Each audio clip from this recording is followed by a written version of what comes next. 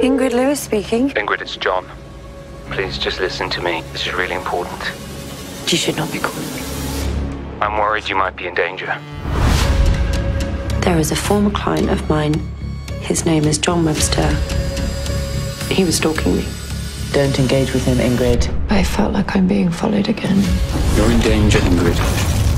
I think deep down you know you need my help. I'm afraid I have some horrible news. Belinda was hit by a taxi on her way home last night. She was pronounced dead at the scene. Keeping you safe is all I care about.